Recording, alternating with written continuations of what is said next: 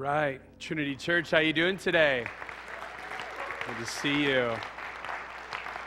Uh, it is great to see your faces this morning. I want to welcome you on this Sunday, and in particular, we're kind of rallying around this idea of the Sanctity of Life weekend. It is something we talked about last weekend. So excited to see the things you're bringing. The resources out on that table today have been stacking up, and just want to thank you for your partnering with with Trinity Church, with our leaders, but really being able to say, even to our community, God, we value so much this precious thing you've given us called life. That's kind of what today is all about and this weekend. And, and we know that in the midst of even things in our country where we're polarized at times about issues, especially like that of abortion, I want to say I love that as Trinity Church, we would say there's a lot of things we could do. There will be people on corners protesting today and holding signs. That's fine. But I would love us to be a people that say, rather than cursing the darkness, we want to light candles. And by you bringing things today that we're going to give to the San Bernardino Pregnancy and Family Center, those will be delivered this week. That is going to be such a great expression of your love and your care for people who need it and who need help. So thank you. I'm excited about that and excited about your response to that. Well, we are in it. We began a series last weekend called 2020. If you have a Bible, we're in James chapter 1. James is pretty deep into the New Testament, comes after the book of Hebrews. If you can't find Hebrews, I'm of no help to you, okay? But it's, uh, it's deep in there. We're, we're just gonna, we're not looking at the entire book of James in this series, just chapter 1, and we're gonna move further into this. We kicked that off last weekend. We're going to take another step. If you have, uh, take a look inside your worship folder. There are um, notes for the message, but you'll notice that our home group notes are connected. These are mine. I've been writing all over them because I'm excited as our home group kicks back up this week um, together. But this is there for you because they're pretty handy. They're right next to each other as you're going through your time with your group together this week. I also just wanted to encourage you our Take 10, take 10 I can, there's a lot of T words, Take 10 Trinity cards. Um, we had those not only stuffed in your program last week, we'll have those again, but they're also at the different points of entry as you came in today. This is a prayer initiative. This is us saying, God, you have strategically placed us in a relational world, and these are people that we want to be consistently praying for. I filled mine out last weekend, hopefully, like you did when you had it stuffed in your program. And then as you take time, then throughout the week, we're just giving you a focused range. Think of 10 minutes praying for people in your world who already know Christ, those who don't, and just saying, God, would you be on the move in them? What we're excited about over the course of the next few weeks is being able to hear the stories. What happens when we take very seriously the, the aspect, the role within our world changer perspective, world changer purpose, and we begin to pray for these people with diligence and begin to see God do things? Things that we have no other explanation for. We wouldn't know, God, how did you organically bring up that issue in the conversation? God, the thing that has been so challenging in their lives, you're using it to point them to you. God, how could, well, it's something to do with the way that you're praying for them. And so we want to see how God blesses that aspect of our obedience and our engagement. So I want to encourage you, if you haven't engaged this yet with us, it's not too late. Our hope is that over the course of these next few weeks, even if you are what we might call a late adopter, that you get on board while we're in this initiative and get to see what God is up to. So here we are. Uh, 2020 is the name of this series, James chapter 1. James 1 addresses some very, very significant, widespread issues that we face. Last week, we dove into the idea of purposeful pain and asking the question God, is there anything good you're up to, anything valuable that you're wanting to do through painful situations in our lives? And, and what we're going to find in this series is James is going to provide us a lot of clarity but what James isn't going to do is try to solve the problem for us. He's not going to try to take away the trial. He's going to say, here's perspective in the middle of it so that you know how to follow God through it and what God is after in your life. And so I want to say that as a disclaimer as you go into it, that you realize there's value, but it might not be the value you and I would initially look for. I'll never forget having conversations with my senior pastor at HDC, and, and I would tell him, like I told you, this was so helpful to me when I realized that God was purposeful in my pain. And he would tell me, But Todd, at the end of the day, we just want it to be done. And I agree. We typically are that way. But James is going to teach us that there's some great lessons that he wants, that God wants to teach us through it. I, want to ask you this question to get your mind kind of thinking this way today. Think of this. Think of the time when you were growing up in your home, maybe in that preteen to teenage range. Some of us, that's like now. You guys right here, you're good. You don't have to think hard. But for, for others of us, those are like cobwebs way back, okay? But do this. Think of a time in that very um, you know foundational season of your life think of a time that you went through something really challenging maybe you had some really sharp conflict with someone maybe it was a time that you were really questioning some issues about your identity and your worth and just like god i don't even know my life makes sense big ticket issues you were going through those at that season of your life and the interesting thing is about this particular time you never once bothered to ask one of your parents about help or wisdom or counsel. Now, for some of you, you go, Todd, that was every time. I don't even know what you're talking about. I mean, I just, I didn't want to talk to my parents about stuff like this. I didn't think I could. And there could be a host of reasons why, but especially for those of us who would say, no, there were times when I would say, Mom, Dad, I don't know what to do or, or how to navigate this. But think of a time with clarity that you said, there is a, a big challenge I'm facing, but I don't want to talk to them. And as you kind of burrow down a little bit, the real basic question I would ask you is why not? Why would you not want to seek the advice and the counsel and the insight of someone who's walked the planet infinitely longer than you have, has much more life experience, and would really be able to be helpful to you? Why would you discard that kind of wisdom? And the simple answer because you didn't want to have to be bound to what they said right? You ask a parent, hey, I don't know how to navigate this relationship or I don't know how to deal with this issue I'm facing internally. Well, then they begin to give you counsel, and then you realize they're going to expect you to do something with this. Right? You're bound now. They're, they're giving you an answer that then, and then later on, they would rightly say, I, I, I give you advice. What are you doing? So, in order to not have to worry about following through, you just kept silent. Now, if you can remember a situation like that when you were a teenager, now many of us have moved forward and we're parenting or have parented teenagers. And now, when you get into that role of the parent, and you realize that same way there are things that young adults are walking through and they don't want to ask us. They don't want our input. And it's really hard to not take that personal but then as you unpack that let's say that same truth applies to them that applied to you.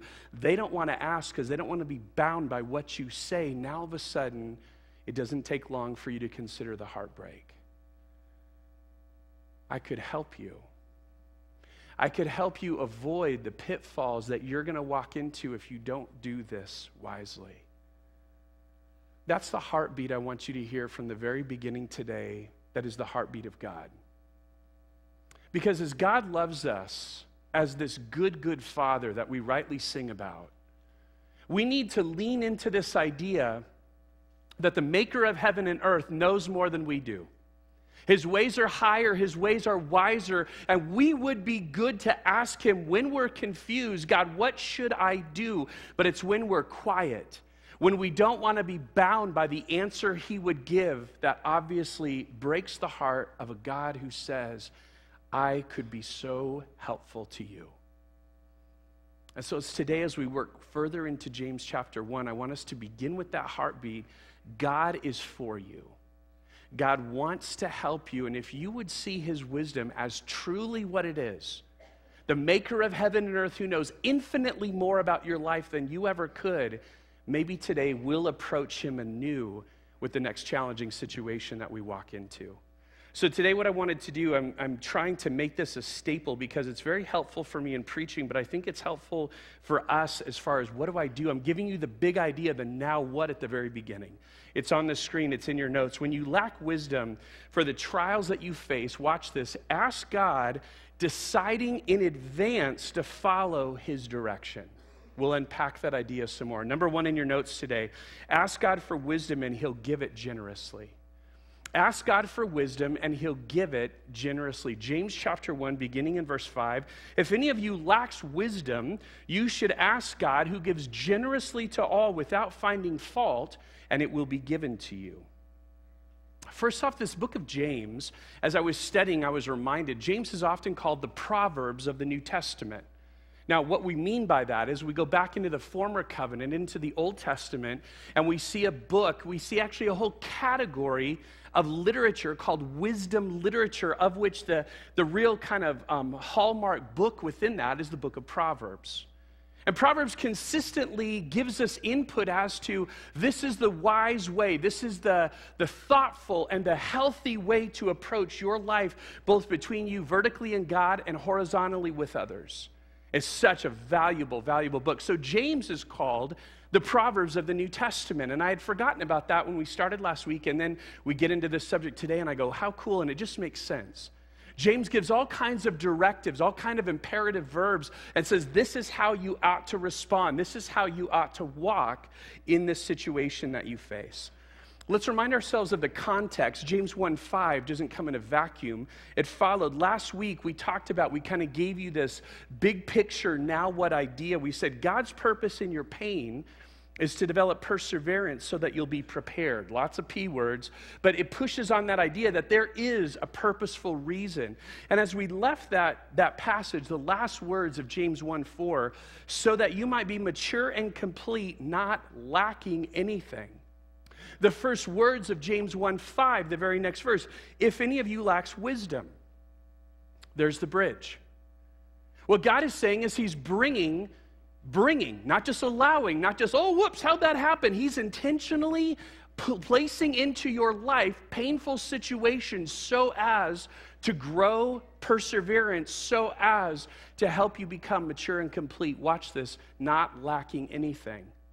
However, if you lack wisdom in the painful thing that you're in, and you will, ask God.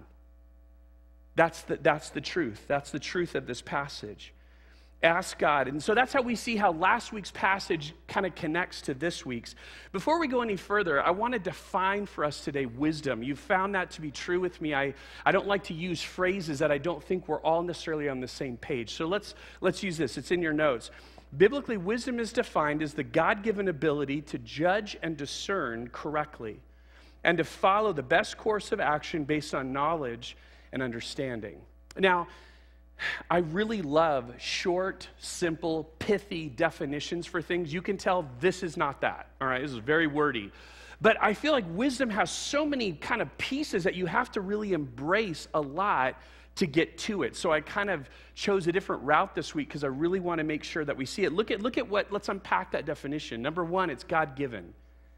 Wisdom flows from, wisdom emanates from the creator of the universe. Secondly, it's the ability to judge or discern correctly. It's being able to see the world as it is, not how you wished it would be. That's huge. To just take stock of reality, that's a huge piece to wisdom. It's the following of the best course of action. Wisdom is a decisive reality. It's an action idea. It's not the sage on the hill who just kind of thinks about big ideas all day. It interacts with the reality of your life, it hits the ground. And finally, it's based on knowledge and understanding. Um, here's what's happened, especially in our Christian culture. We have taken this idea, we, we've seen the the problem when people equate knowledge with wisdom, and I want to be clear knowledge and wisdom are not the same. No doubt about it. You and I have interacted with people that are immensely intellectual but cannot tie their own shoes. They're just so thoughtful and deep and precise and all those things that you and I are not, but they don't know how to live.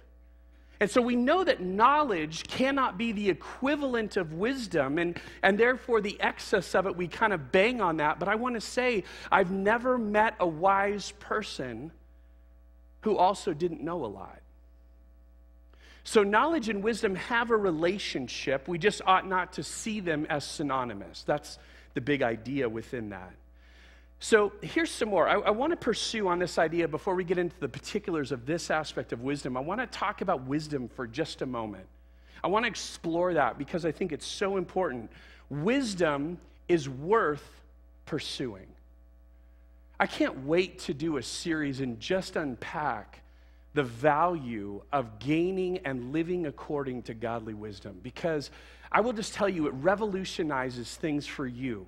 When you will actually say, God, your ways, your understanding, your insights into the world, they matter more than anything else. And why do I say that so strongly? Why is it so important to me? Well, first off, God says it's important. I really love this. The NIV translates this passage to me so well. It's in Proverbs 4 7. It says, The beginning of wisdom is this. This is where wisdom starts. Get it. I love that. It's so great. It, it, it, other translations will translate it wisdom is supreme. That's great. NIV dials in. The beginning of wisdom is this go get it. Get wisdom. Through it, or though it cost you all you have, get understanding. Man, I got to tell you, I um, Joanna has uh, has been connected to me both in a dating and a married relationship for 30 years. And so you're doing the math, you're going, Todd, you looked old, but I had no idea how. No, it, we started very young. And so she has watched the, the kind of the course and the growth of my life. She has the best advantage point in the world to tell you, Todd, you have not always been in any way a wise person. She knows. Like, and if you're here today, your spouse knows that too, just in case you didn't know that, okay? My spouse knows it well. And I'm not here today, I'm some pillar of wisdom, but I'm saying I have really embraced the value of wisdom over the course of that span of my life. And one of the reasons why is, in a way, I value wisdom so much, not only because God says it's so highly important and valuable, but also because I want to walk in a way that not only pleases God, but blesses others. I don't know if you've ever thought about that aspect of wisdom. We can look at wisdom maybe very selfishly. Wisdom is the healthiest way to live. Wisdom is the way that is the most productive way to live. Wisdom is the way that has the least amount of fallout and collateral damage when you live this way. These are all true. But there's something about when I'll grab hold of this idea that to live according to God's design, out of His understanding, is the best way to live, not only for how it blesses my life, but it blesses everyone around me. You see, I got to walk for 14 years with a guy named Jack Hamilton, who's the executive pastor at HDC, and I just got to watch. Think of that for a moment. When I say the word wise person, like this person's very wise, get a name and get a face in your life. Who's that person that you kind of see, you know, dictionary definition wise, there's their face. Think of that person for a minute, and Jack is the one that comes right to my mind because I've watched Jack live. And it's not to say that Jack hasn't encountered problems. That's silly. That's life on a fallen planet. We all do. It's how you navigate through them. And not just how you navigate through problems, but how, as a result of wisdom, you bless everyone around you. It's like when the harbor goes up, all the ships go with it. Wisdom provides that for the people in your life all the water rises and everyone's blessed as a result. Wisdom is something worth striving for, worth giving yourself to. It's especially cool how wisdom interacts with our series. When I was looking in a, just a, not in a theological dictionary, but just dictionary definitions of the word wisdom, which is kind of a trip because there's all kinds of ideas in a non biblical context of wisdom. But one of the words I came across is a word you and I use every day. I got to say it right disambiguation. Right? Like just yesterday, you were in this conversation. Oh, I'm just struggling with the disambiguation of this issue. And, um, and knowing I had to look at my notes to even remember how to say it shows that obviously we don't use this word. But when you break the word down, it's actually a cool word picture. Dis just means not, the opposite of. And then ambiguous means unclear. So it's a double negative, not unclear. Wisdom is not unclear. Otherwise said, wisdom brings clarity. The tagline for our series is clarity when you need it most. Wisdom is essential to this first chapter of James chapter 1. Wisdom is synonymous at times with clarity and the ability to proceed. Think about how wisdom also relates to your role as a parent, your role as a grandparent, and what you're trying to to inspire and to pass on to your kids. And, and the goal of wisdom in raising kids is simply that they would know how to navigate well. They don't know that by nature. I'll never forget the very first parenting conference that I was kind of responsible for up at HTC. I was the new family pastor, hired in October, and I think in February or March we put on a parenting conference. So it was just within the first five or six months of being there. And in doing so, I even brought in a speaker I didn't know very well, but he was well, had a great reputation among our staff, a guy named Daniel Hahn. Daniel's a pastor up in Ventura. Daniel comes in, and we had a little bit of time in the green room before the, the conference started. He seemed like a great guy. We get out there, and there's like 350 parents in this room. And his very first words, I'm sitting, standing in the back, the very first words he says is this What's the goal of your parenting? Are you trying to raise obedient kids or wise kids? And I sat there in the back and I was shaking because I thought that's a horrible question. Okay, it's a horrible question. I want both. What do you mean there's one way, you know? And in my mind, I'm even thinking, I'm raising at the time, Jackson's five, Aaliyah's uh, three, and, and Kindy's six, seven months old. And so I'm thinking, my kid's going, I don't have, there's no such thing as a wise three year old. You know, I just want obedient, do what I say. And as I was processing, it was the very next words, though, that Daniel said, you can tell at that stage of parenting, I was very short sighted. And Daniel laid out this idea and he said, Let me give you the answer to that question. Your goal is to raise wise kids.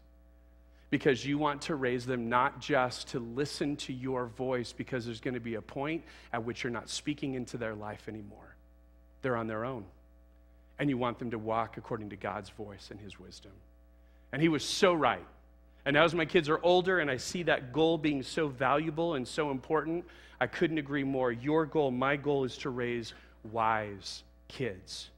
The problem is, when they're three, there's nothing that looks wise at all, okay? Now, let's look at the other parts of this, this particular verse. We're not just looking at wisdom, but two aspects. One, God gives wisdom generously, and second, he does so without finding fault. First idea is this, and I want you to hear this. Don't react, just hear it. God is liberal. Man, your head shot up. That was good. I didn't say God is a liberal, I said God is liberal. I know that we have politicized the words liberal and conservative, but I want you to do this. About six months ago, I was listening to something, and in the context, they use the word liberal, liberality, as it is rightly understood. Uh, it's, it's like a lot of English words means a lot of things. The word liberal means lavish, it means without restraint, it means to pour out and to give. God is a liberal God. And here's what's happened you have actually inverted some terminology in your own mind, so have I, and we've actually become to believe that God is very conservative, meaning code for stingy, grumpy, holds back. And in this first part of our passage today, if you could just get this idea, this is the one you could take to the bank and that you could sit on for a, a, long while in your life and just, just meditate upon God, what is this about? Because what you've done is you come to God thinking you have to pry something out of his hand. You have to somehow do something right to magically manipulate him to give to you what you think you need because you've developed a view that God doesn't seek to bless your life. I don't know where that view came from. It comes at my life at times as well. It's sad to say, and I had to repent of that this week as I was studying, because even go back to our Ephesians series. How many times did we come upon the idea, the word riches, in just the book of Ephesians alone? And it's not just that God is rich, rich, God is rich in wanting to bless and to give to you. The riches of his grace, the riches of his mercy and love. Six times that word is used in Ephesians alone when it comes to God being after your best, God wanting to bless your socks off, God is liberal. He's not conservative. And you need to sit on that a little bit today because so many of us have adopted a different view, and God is just stingy. I want to help you see that He's not. The other aspect of that second truth, He'll give without finding fault. That was a very curious phrase to me. I was trying to process that. Why would James include that? God will give generously without finding fault. And I was trying to think through what, what does that even connect this dot? And then it dawned on me. That very often how we come to people, how we come to an authority figure, this is one of the great challenges for many of you in the room today, is that you have equated how your parents related to you on issues like this with how God relates to you on issues like this. And some of you were raised in homes that simply made you feel small, made you feel bad for even asking for help. So, therefore, the understanding or the expectation is I feel uh, in some way I'm, I'm, inconveniencing or I'm somehow asking God at an inappropriate time for the help that I need to navigate through this challenge that I'm in, for wisdom. So even the very question of it, even asking for it, puts me at odds with a God who, number one, I think is stingy, and then number two, I've equated with old Mr. Wilson right? He's the neighbor across the street who would get just as mad at me for asking for help as he would for me stepping on his lawn. God is not that God. And when we come to him, think back to the fatherly example, the motherly example we started with today. He sees his kids struggling with issues, and the moment they ask for help, rather than break his heart, the moment his heart expands. I can't wait to help. I can't wait to be a source of wisdom and direction for what you lack right now. God gives wisdom liberally and without scolding when we ask for it. The way we, we phrase the first point today seems to be an axiom. It reads that way. And an axiom is a universally accepted principle. It reads, Ask God for wisdom and he'll give it generously. But here's what I know it's not an axiom, or else James would have stopped with that. He would have said, If you lack wisdom, ask God who gives generously to all without finding fault and been done. But he goes on in the next three verses to say, But you're not going to do it, so let me help you understand why this is so important. So rather than us assume we all are on the same page and, and living out this axiom, let's see what kind of disconnect James addresses. Number two in your notes ask God for the wisdom that you've already decided to follow. Ask God for the wisdom that you've already in advance decided to follow. James 1 6. But when you ask, when you come to God with this need, you must believe and not doubt, because the one who doubts is like a wave of the sea blown and tossed by the wind.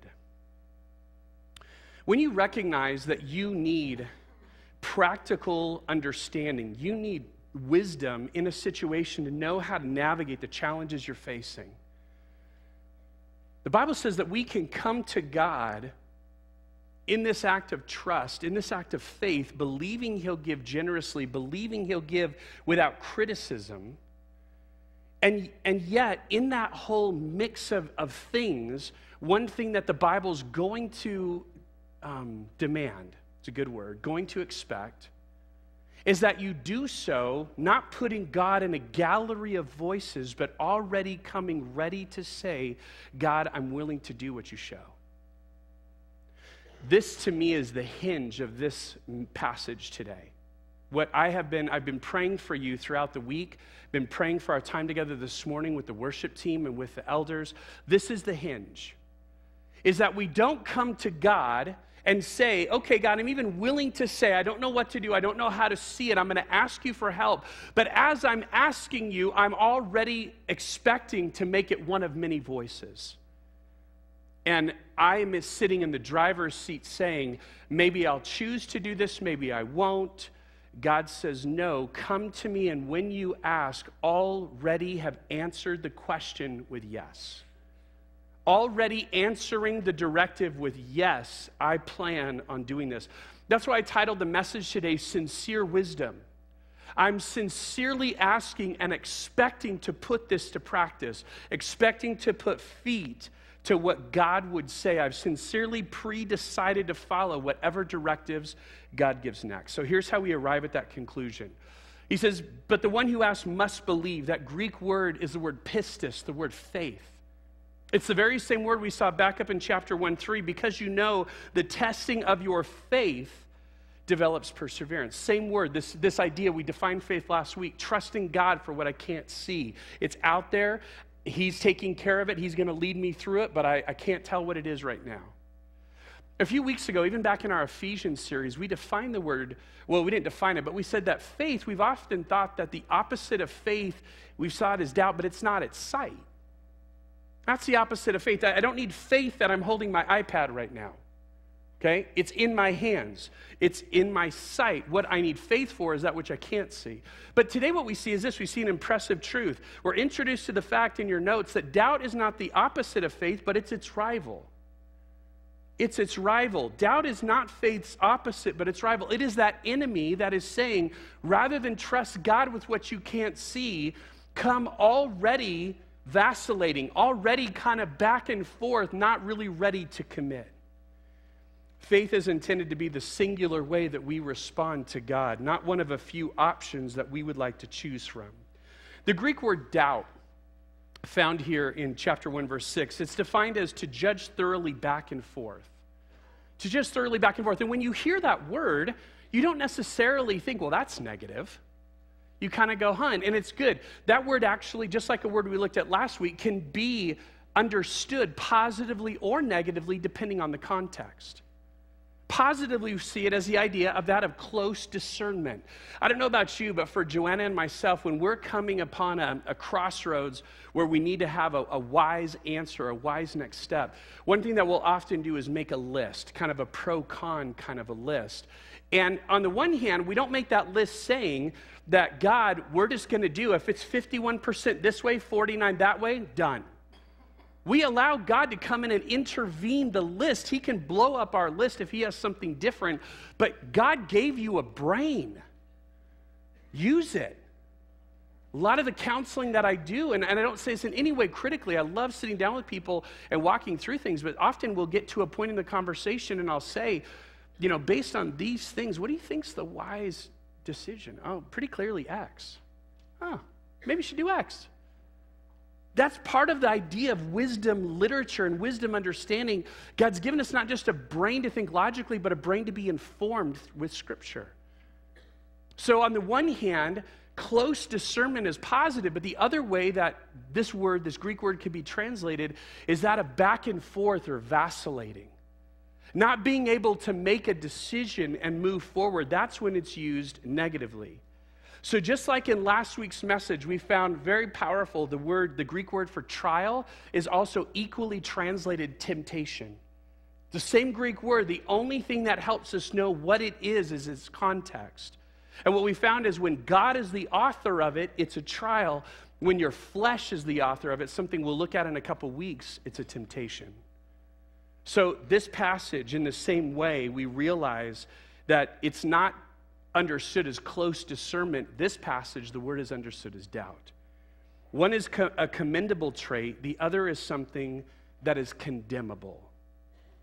It's condemned because when you doubt, you vacillate. And here's the interesting thing if I'm sitting with you and we're talking and having a conversation and you're struggling with something and you say to me, Todd, you know, what should I do? And I give you my, my understanding, I give you my input, and you're vacillating with that, that's one thing.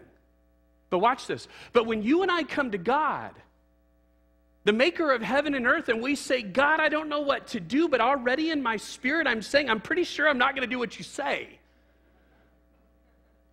That's when it's condemnable. That's a doubter. That's this kind of doubt we're talking about. Because we have to keep coming back to who are you talking to? Who are you approaching? Think of it this way the more you get to know me, the more you'll hear stories, and I have many, of how incredibly horrible I am at all things mechanical. Bad, bad, bad. All kinds of bad. Remember, I'm the guy who told you last week, I know so much about cars, I think you ought to just be able to put gas in it and it work until the Lord comes back. I'm always perplexed. How in the world did this fall apart today? I can't get it. So imagine this. Imagine you have a problem with your car, your automobile and you need to get to work on Monday, you come to me today and you say, Todd, I, I really don't know, you know, how, what to do with my car. I don't know what to, how to fix it. Can you help me? I'm thinking, just the fact you came to me says a lot about you. Okay? But secondly, so, so then I go deep, right? I start thinking about really powerful things. I go, well, let, let's, let's get, let me ask a few, you know, probing questions. Is there gas in the tank? Yeah, pretty sure. Okay, good. Uh, air in the tire. Yeah, okay, air in the tires. Okay. Th- that's about the, the depth of my knowledge, right? So that's all I got. And here's the interesting thing. So you're asking me these questions about your car while I'm standing next to Bob. Bob designed your car. And you say to Bob, Bob, I've heard what Todd said, really profound. Um, wondering though what your take on it. And Bob says, Let me ask you some diagnostic questions, blah, blah, blah, blah. And in about five or seven minutes, Bob says, Well, I'm pretty sure your problem is X. And he says, How can you be, you ask him, How can you be so sure? He said, Well, I, I built your car, I designed it, I know how it works. Here's what happens when we doubt God. Part of that problem, why it's so reprehensible to God, is you're putting Todd and Bob on the same plane. I don't know squat about your car. Bob designed it.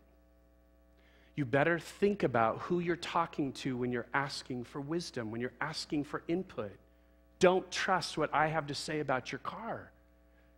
Absolutely trust Bob.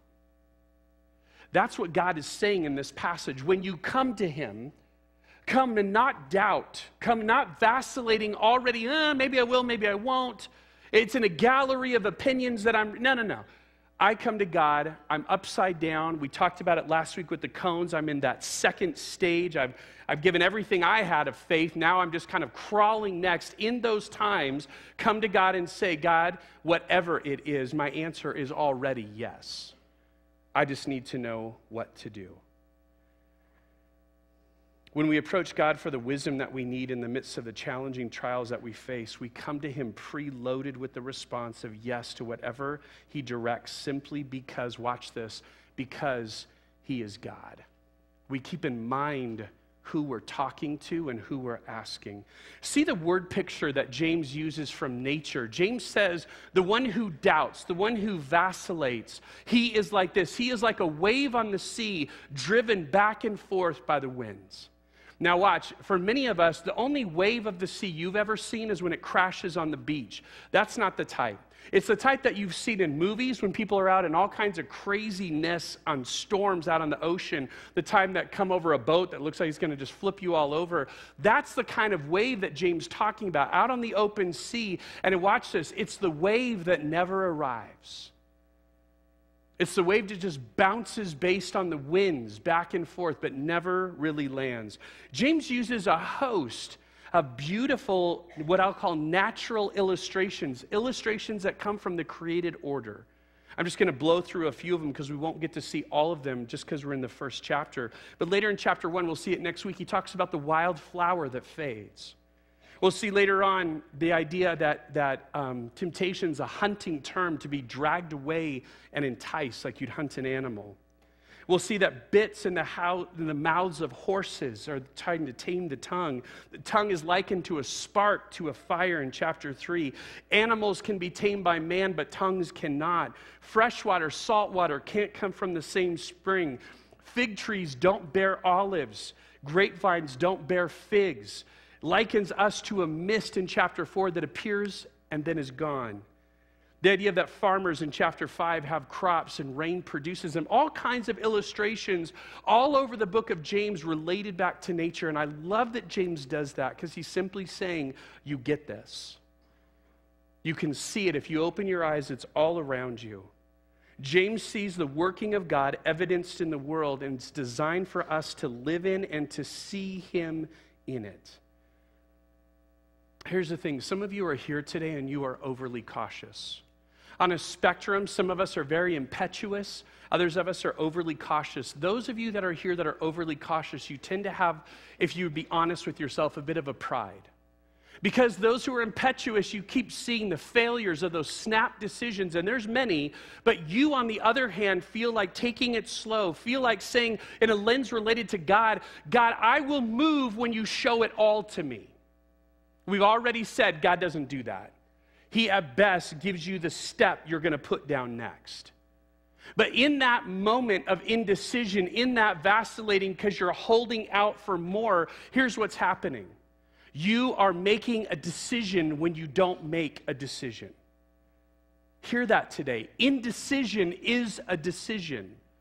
Rather than saying, God, you've given me the next step, though not the whole next mile, that's enough for today. Step out your foot and place it down what He's shown you. When you ask God for wisdom and you see that He reveals it to you, don't hesitate once God gives you direction to follow. And finally, number three in your notes today ask God for wisdom because you want His plan more than yours. Ask God for wisdom today because you want His plan more than yours. James 1 7 8, that person, so that the doubter, we just read out in verse 6, that person should not expect to receive anything from the Lord. Such a person is double minded and unstable in all they do. I gave you the definition for double minded. It is literally someone with two spirits or two souls. That's kind of the image. That's very literally the Greek word that James uses. This word's very interesting because in the entire Bible, it's only found here in James 1 and in James 4. It's as though James coined the word because it's not found in any other Greek literature. James kind of comes up with this idea that to doubt God, the creator of the universe who's ready to give you wisdom, is to be duplicitous to have two souls, two spirits. The other place we find this is in James 4 8. It's in, on the screen. Come near to God, he will come near to you. Wash your hands, you sinners. Purify your hearts. What? You double minded. Chuck Swindoll said it well. He said, A double minded person is one who wants his or her will and at the same time as God's will. And you know, by the way, I don't mean to make this big deal. Oh, the double minded, like none of us have ever been that. Okay, that's an everyday kind of challenge we face. But the Bible's saying pretty clearly this is a tight wire you can't walk.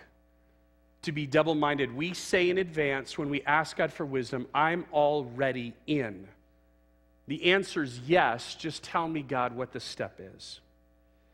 So the double mindedness is similar to the person, like the illustration, who's tossed back and fro from the waves. It's an unhealthy reluctance to proceed when God has communicated this way.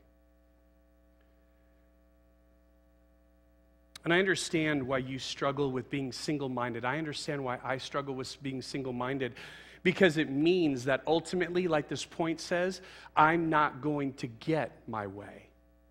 I've had that happen enough times till I finally begin to grab hold of that. Here's the thing I want you to grab as we finish today I want you to grab that your way was never the best way anyway. Take a look. Donna sent me this this week. I thought it summed it up well. This was kind of out of relation to not only last week's message, but this week as well. The top illustration definitely demonstrates what you and I want. What, is that, what does that scream? It screams comfort and it screams control. Okay, I like it. I can see the path. Oh, you know, it's a really challenging, you know, 2% grade. right? Like, oh, it's going to be tough. Tough workout today. No, it's comfortable. I don't have to change my bike out of gear. I'm doing good. I can control the situation. That's what your plan is. That's what my plan is, especially when we're in trials, right? God, just get it done. Let's get over this. But look at the bottom. What I love about the picture about the bottom is look at the vantage point of the biker, not where you are and you can see. What's helpful when you can see it is you know you've lived this. You know you lived, you wanted the top, but you got the bottom, and now in retrospect, you see all those steps. But when you're the biker, all you can see is the flag at the top of the hill, and you can tell there's some dips in the road. The person who asks in faith for wisdom simply says, God, I know I have a plan for my life, and I would like it to be comfortable and I'd like it to be controllable to me. But what I'm choosing in advance, why I'm already saying yes, is because I want a life that can only be described by your power, by your strength, by your wisdom. So I want a life that is full of faith. I want a life that knows you have said you will never leave me or forsake me. And so, through all of those challenges, the key is at the top. My plan is me alone. The second is God with me. And if that's the choice, God, you bring us to this point where we realize that challenge and faith is so much more valuable than comfort and control. Why? Comfort and control was always an illusion anyway, it was never real. It brings us back today to this idea of how much we need faith, how much we have to trust God with the things that we can't see.